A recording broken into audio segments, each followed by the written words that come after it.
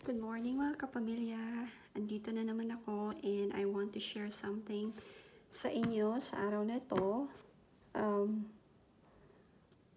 welcome back sa channel ko. Sa, so today uh, video is uh, papakita ko kung paano ko i-assemble itong aking nabiling 3 shelf bathroom space saver.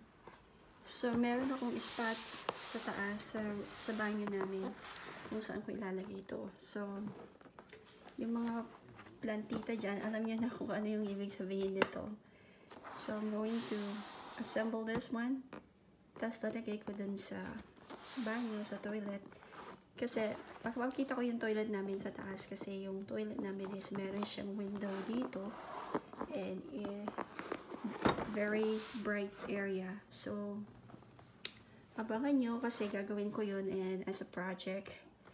Ang mura ko lang nabili to kasi I was trying to find one in marketplace kaso mas mura pala to kaysa sa mga binibenta nila and then I have to drive and pick it up. So ito pupunta ko lang sa Walmart and then binili ko. Less than $20 lang to. So hindi naman ako may naghahanap ng ng mamahalin basta may may ano lang ako may magamit ako para sa mga plants ko. So may project ako and then I would like to samahan nyo ako hanggang sa huli ng video para makita nyo gaano kung nagandahan ba kayo o hindi. But for now, let's assemble this one. Bye! Hi! Andito tayo ngayon sa second living area. So this is my box. And uh, I'm going to start uh, unboxing.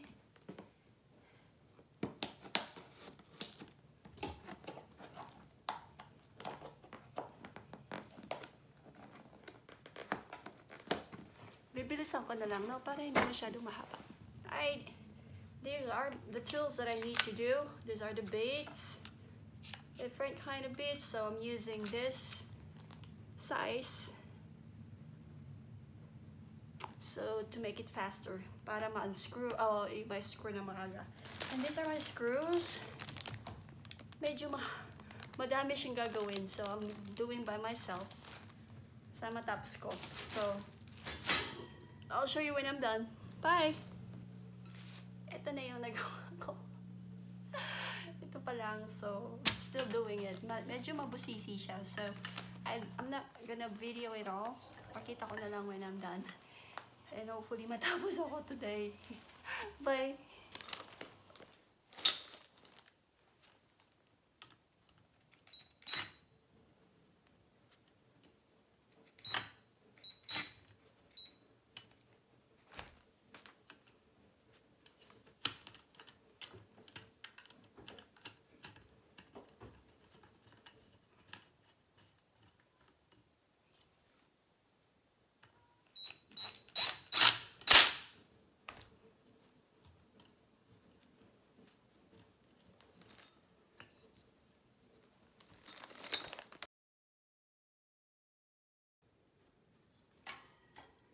Ayan, almost done.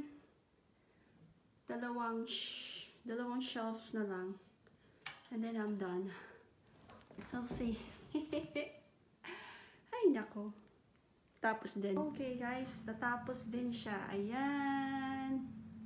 Kailangan ko pala din nandito yung top. Pero okay na yan. Taas niya. Now, itatry na natin sa Pasensya na sa kalat. Ito try na natin sa banyo o sa toilet. Ito yung mga lagayan. At tas may liner pa siya dito. Ito yung liner niya. Sa taas. So, diba? Kasama lahat to. There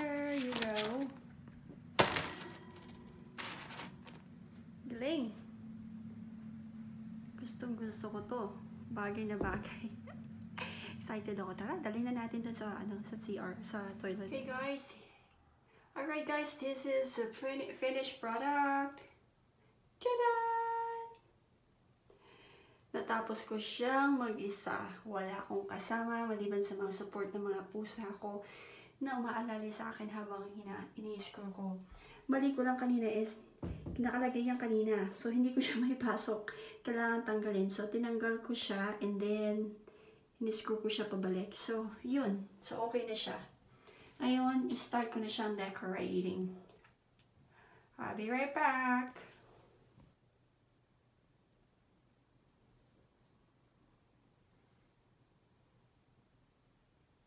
Tadaan! Alright. I love this plant here. Ah, nilagay ko yung Hoya ko. This is my Hoya. Ah, forgot the ID. Yung, but this is my Philodendron Brazil. Oh, see how beautiful. Oh my gosh. Mag-thrive sila dito kasi may mas maliwanag dito compared dun sa kung nasaan sila. Nandun sila sa taas ng cabinet. Dun sa kitchen ko na medyo madilim the whole day. Kaya ito, we'll see. Ang dami na nilang new growth. Tignan mo to.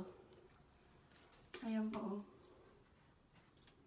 Gusto ko siyang mamulaklak sa akin this year but I don't know. But tingnan mo, medyo dahil, dahil ko lang sila ng sunlight, wala, green ito. But if they have a um, good sunlight exposure, ganito yung magiging ano nila. Magiging ano sila, tawag dito, variegated. Pero these are new growth. It's beautiful. Also my Brazil. Ang ayaw ko kasi dito yung mga new growth niya is maliliit na. Maliliit na lang kaya pag ano daw, kulang ng sunlight, eh, liliit yung mga dahon. But this one, look at this. Yes, it's love month. Hope you enjoyed this video. Ito lang naman ang i-share ko. Ganyan lang naman ang plano ko. Yan. Para ma-maximize yung brightness ng sa location or corner ng house. So, ito yung kasing bright. Also, I have the one here is yung uh, aking Sansevieria kung saan ko nilagay ko sa may tub. Pakita ko sa inyo. Ito, that's my cactus. Nilagay ko dyan. Very bright din ang area. See, that's my Sansevieria. Bathtub ito, so hindi naman namin siya rin ginagamit. So, lalagay. Anyway, kahit gamitin ko siya, hindi naman apektado. Tsaka maganda dito pag nag-shower kami, dito yung shower. Pag nag-shower kami dito is yung steam kasi mainit hot shower. So, nagkakaroon ng mist or moist sa bathroom. So, nakakatulong sa mga plants. Kaya, maganda sila dito. Kaya, dito yung plano kong maglagay ng shelves. Aalisin ko mga to. Dalawang shelves. Tapos, doon, diyan ko ilalagay yung mga uh, succulents ko during summer. And uh, maybe cactus. But, yung isang plant ko kasi yung isang ano namin guest room pwede siyang lagyan ng shelves doon tapos lagay doon kasi yun yung morning sun at very bright yung room na yun that's it for now. Thank you and we hope you enjoy this channel. Always like and share if you enjoy this video. Thank you po and have a good day and God bless. Bye